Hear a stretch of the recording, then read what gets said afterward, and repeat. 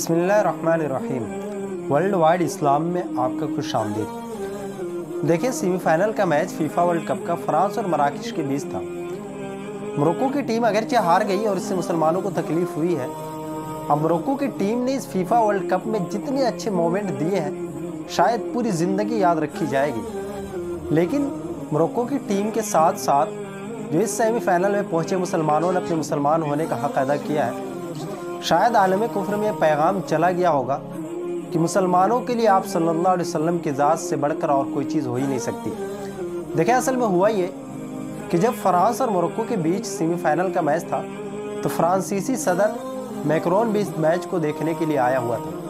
और ये वही मैक्रोन है जो आप अलैहि वसल्लम के शान में गुस्ताखी की थी। लेकिन वहाँ पर हाजिर मुसलमानों ने पूरे स्टेडियम में इसके हाजिरी के दरमियान कलिमा को विरद करते रहे। और मैक्रोन को ये बता दिया कि जिस ज़ात और जिस नाम से तुम्हें नफरत है, उसकी सदाएँ तुम जहाँ मर्ज़ी चले जाओ, तुम्हारे कानों तक टकराती रहेगी। और आलम कुफ्र को भी ये पैगाम दे दिया कि हमारे लिए सबसे अहम हमारा दीन और ईमान है। यही वजह है कि मराकश के हार पर आलम कुफ्र जश्न मनाता रहा। देखिए कैसे अरबों ने गुस्ताख रसूल सल्लल्लाहु अलैहि वसल्लम की आमद की खबर सुनकर पूरी तैयारी के साथ स्टेडियम में पहुँचे थे। और पूरा स्टेडियम कलीमा के वृद्ध से गूंजता रहा। मंजर आप भी देखिए।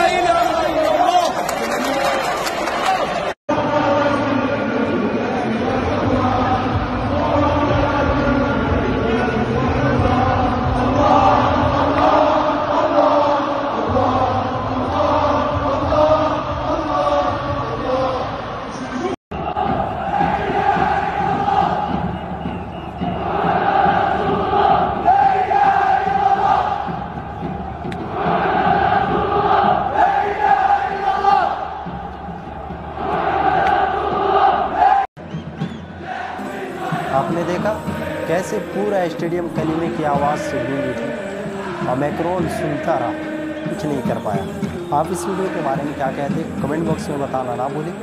और कलीमे का अल्फाज अपने कमेंट बॉक्स में लिखना ना भूलें। मिलते हैं एक नई वीडियो के साथ। जब तक के लिए अल्लाह हाफिज़।